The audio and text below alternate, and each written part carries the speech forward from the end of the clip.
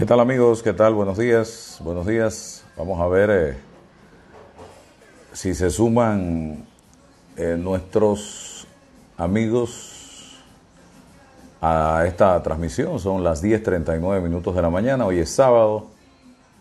Eh, actividad todos los días en Panamá. Pero iniciamos rápidamente con información que se está generando en Venezuela, eh, donde militares venezolanos dispersaron hoy sábado con gases lacrimógenos y proyectiles de goma a decenas de personas que exigían cruzar hacia Colombia por un puente fronterizo de Ureña, Táchira, Oeste, cuyo cierre fue ordenado por el gobierno venezolano para evitar la entrada de ayuda humanitaria. Queremos trabajar, gritaba la multitud frente a un piquete de efectivos de la Guardia Nacional con equipos antimotines que bloqueaba el puente Francisco de Paula, Santander, constató un equipo de AFP. El gobierno de Maduro ordenó la noche del viernes el cierre total de los cuatro puentes que comunican el estado Táchira con el departamento colombiano de norte de Santander, donde está la ciudad de eh, Cúcuta, centro de acopio de ayuda enviada según dice la información, por Estados Unidos a solicitud del opositor venezolano Juan Guaidó. Eh, creo, señoras y señores, que eh, los niveles a que ha llegado el gobierno de Nicolás Maduro eh, ya son insostenibles. La actitud asumida por esta pandilla de delincuentes encabezada por Maduro y Cabello está haciendo demasiado daño a mucha gente y creo que ya llegó el momento de que eh, algo tiene que pasar en ese país, eh, porque no podemos como sociedad eh, de América Latina y del mundo seguir soportando que un hombre tenga secuestrado un territorio como Venezuela. No puede seguir. Este señor se sostiene con la metralleta, con las tanquetas, con las armas y con la pandilla que lo está acompañando en este momento y hoy tiene a Venezuela sumida en la peor crisis en la historia de este país. Y simplemente, amigos, nadie se atreve realmente a enfrentarlo. El pueblo tiene que enfrentarlo. Hay experiencias, hay experiencias a nivel internacional en donde eh, verdaderamente se ha logrado el objetivo. Nosotros vivimos una época difícil con Manuel Antonio Noriega en Panamá, pero fue mucho más breve y más corta de lo que le ha tocado vivir al pueblo de Venezuela. Esta gente está secuestrada, esta gente eh, en este momento está intimidada y con hambre, con eh, viviendo la pobreza, la miseria, sin medicamentos. Y hay precisamente muchos países de América que están tratando y del mundo de darle la mano a Venezuela y este, yo no sé cómo llamarlo, yo no sé cómo llamarlo porque decirle animal es ofender a los animales. No permite que entre la ayuda de otros países, ayuda humanitaria para tratar de mitigar un poco el hambre y la miseria que está viviendo este pueblo. Esto es canalla, esto es criminal lo que está haciendo en este momento el señor Maduro, que yo no puedo llamarle presidente de Venezuela porque es un dictador lo que tiene eh, Venezuela acompañado de la pandilla que lo está acompañando en este momento.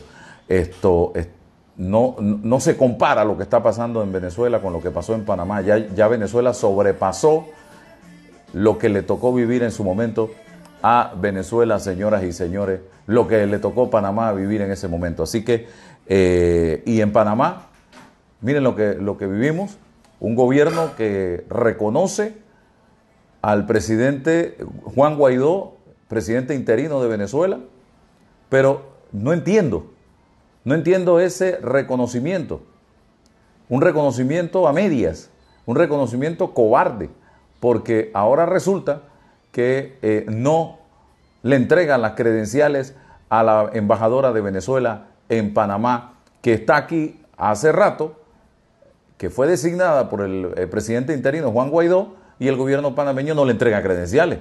Entonces, de qué reconocimiento estamos hablando. Un reconocimiento a media, un reconocimiento tibio. Las cosas se hacen y se hacen correctamente y se hacen porque se hacen. Entonces aquí, ¿de qué estamos hablando? ¿Por qué? Porque hay negocios con el gobierno de Venezuela, por eso somos tibios y no nos atrevemos a hacer las cosas como son. Entonces no hagamos las cosas. Si no vamos a asumir responsabilidad como debe ser y si no vamos a asumir los compromisos de frente, entonces no lo hagamos. Porque, ¿cómo quedamos? Blandengue. Ahí está, la embajadora de Venezuela. Es más, le voy a dar el nombre porque lo tengo aquí. Eh, Venezuela, eh, ella estuvo en eh, mi noticiero hace unos días atrás en una entrevista y tuvimos la oportunidad de conversar con ella sobre diversos temas. Carmen Sabarce es la embajadora de Venezuela en Panamá. Carmen Sabarce, ahí está. Ni siquiera ha podido entrar a las, a las oficinas de la embajada. Porque Panamá no le ha entregado las credenciales. ¿Qué clase de eh, carácter tiene este gobierno? Por eso es que el relajo que tienen con nosotros a nivel internacional, que nos meten en listas de todos los colores habidos y por haber, y nosotros allí como tontos, como pendejos, porque eso es lo que somos, eh, ¿ves? Calladitos, no decimos ni esta boca es mía. Pero seguimos, saludos al pueblo de Venezuela. Y sigan la lucha, sigan la lucha porque esto tiene que acabar en algún momento. Esto no puede seguir, eh, señoras y señores. Eh, no hay bala que mate una idea. No hay bala que acabe con el amor con el cariño, con el deseo, con las ganas, con la voluntad de un pueblo.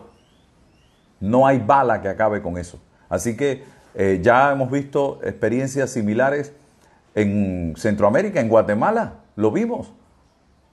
Lo vimos también en Medio Oriente, en varios países donde eh, el pueblo se unió y acabó con dictadores, con gorilas que estaban gobernando en esos países. Así que hay Recuerden la primavera árabe. Bueno, hay que eh, eh, hacer exactamente lo mismo y nuestro apoyo solidario desde Panamá y de, en representación también de muchos panameños que en este momento están sufriendo lo que les está sufriendo ese, ese país.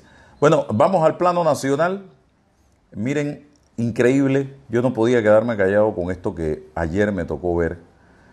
Ayer fue finalmente el señor Frank Weaver a la Procuraduría, al Ministerio Público, una fiscalía, atendiendo una llamada, una citación para indagatoria. Indagatoria es cuando te imputan un delito. Tú eres indagado cuando te imputan un delito, cuando eres imputado, cuando hay mérito suficiente para un proceso. Cuando es declaración es porque simple y sencillamente no hay méritos para imputarte, para eh, eh, eh, investigarte y tú vas a aportar información. Bueno, el señor Weaver, Franz Weaver, se le está involucrando en un tema de el pago de una indemnización por los buses Diablo Rojos en el periodo de gobierno de Ricardo Martinelli. Señor que era dirigente transportista en el transporte selectivo. ¿Recuerdan ustedes? Psicotrac, creo que era. Sindicato de Conductores de Transporte Colectivo. Bueno, resulta que el señor Weaver ayer se le impuso por parte de la Fiscalía Anticorrupción de Descarga una medida cautelar de impedimento de salida del país. No puede salir del país y tiene que notificarse una vez al mes, ir a firmar a la Fiscalía. Y la respuesta del señor Weaver a su salida, muerto de la risa, muerto de la risa, eh, magnífico dijo. Así calificó el secretario general de la Asamblea Nacional, Franz Weber, la medida cautelar de impedimento de salida del país que le impuso ayer la Fiscalía Anticorrupción de Descarga, entidad que lo indagó por supuestas irregularidades en la compensación económica a dueños de buses Diablo Rojos. Mejor, dice, cuando precisamente le salía de la Fiscalía y le preguntaban, mejor fue su respuesta, porque estoy cansado de viajar. 53 países en cuatro continentes, Magnífico. Así no puedo ir a ningún lado a seguir gastando plata, añadió Weaver a los periodistas cuando culminó la indagatoria. La fiscal cargó, a cargo del caso, Kira Tascón, también le impuso medida de notificación una vez al mes mientras duren las pesquisas. Weaver es uno de los 528 investigados por la presunta comisión de los delitos contra la administración pública en este proceso. Yo cobré por un bus de 8 que tenía. Un bus de 8 que tenía el señor Weaver. ¿Qué le parece? Ellos están llamando a todos los que cobraron. Yo traje todos mis papeles, se los mostré al fiscal, a la fiscal. En la resolución de indagatoria, la fiscal señaló que Weaver es uno de los transportistas que no cumplió con los requisitos necesarios para la compensación y se la pagaron. Pero, o sea, te meten una medida cautelar por parte de la fiscal, una orden de notificación una vez al mes, imputado, imputado, y él sale muerto de la risa, burlándose, burlándose de ti y de mí, señoras y señores. Un señor que es el secretario general de la Asamblea Nacional de Diputados. O sea, él no es eh, un asesor político, él no es un secretario en un ministerio ni en la Asamblea, eh, cualquiera de un despacho de un diputado. No, el rango que tiene el señor Weaver es de autoridad nacional, porque es miembro de la Junta Directiva de la Asamblea Nacional de Diputados, donde está la presidenta, los dos vicepresidentes, el secretario, el subsecretario y los jefes de bancada. Y él es hoy una persona señalada por la justicia, implicado en un proceso judicial, imputado con medida cautelar. Yo no sé si es que hoy día que te imputen un cargos en el Ministerio Público por parte de la justicia es una, eh, es, una rareza, pues. Yo no sé si es que eso es un premio. Yo no sé eh, si estar imputado o procesado judicialmente hoy en Panamá es un premio. Es como decir, oye, me gané una beca, o voy, para el INCAE a estudiar, o soy, no sé, bueno, este señor salió riéndose de la fiscalía y diciéndole al país, mejor, 53 países he visitado ya en cuatro continentes. Así que, y quería ser diputado de la República, miembro del Partido Revolucionario Democrático, y quiere ser magistrado de cuentas, del Tribunal de Cuentas, el señor Weaver. Quiere ser, y mire cómo anda, y miren el proceso que tiene y el señor Weaver quiere ser magistrado del Tribunal de Cuentas de este país. Y cuando lo criticas, ah, es que el malo es el que critica. Como todos, cuando haces una crítica con argumentos, ah, es que el malo es el periodista ese. Ese periodista, hablando tonterías. Y no se fijan que exactamente quiénes son los responsables de este tipo de situaciones.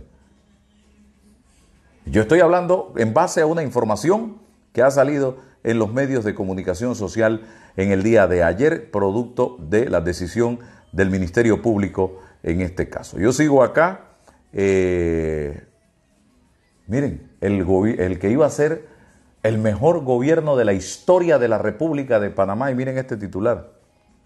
La Procuraduría General de la Nación dio a conocer que inició una investigación tras la denuncia penal presentada por el Contralor General de la República, Federico Homberg, por el supuesto delito contra la administración pública en su modalidad de peculado, en la que se señala a funcionarios y exfuncionarios del Instituto Panameño Autónomo Cooperativo IPACOP.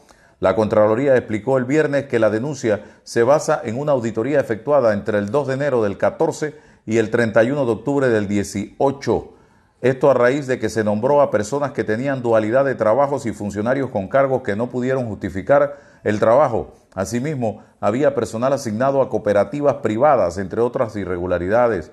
El mismo informe de auditoría que se presentó ante la Procuraduría General de la Nación fue remitido al Tribunal de Cuentas para exigir la responsabilidad patrimonial. Señoras y señores, estaba, está impregnada de botellas esta institución, este gobierno, pero no va a pasar nada.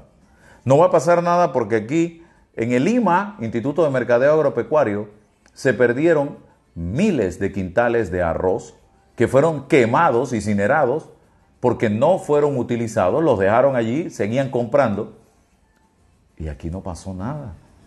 Aquí no pasó nada en el Instituto Nacional de Cultura, donde el subdirector se gastó 20 mil dólares aproximadamente en roaming de celular.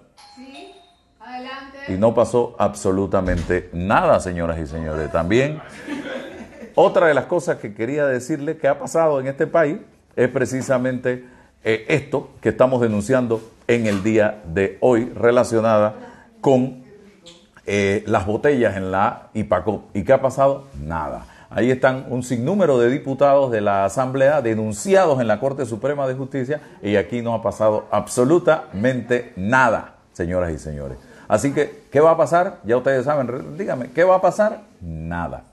Así que esto era lo que quería, miren la gorra que tengo puesta. Más tarde nos conectamos, ¿les parece? Y esto es no a la reelección. Ya ustedes saben, no a la reelección. Por ahí está mi perrita que quiere hacer declaraciones. Nos vemos más tarde, señoras y señores. Me voy con la gorra por ahí suavemente y a la sombra.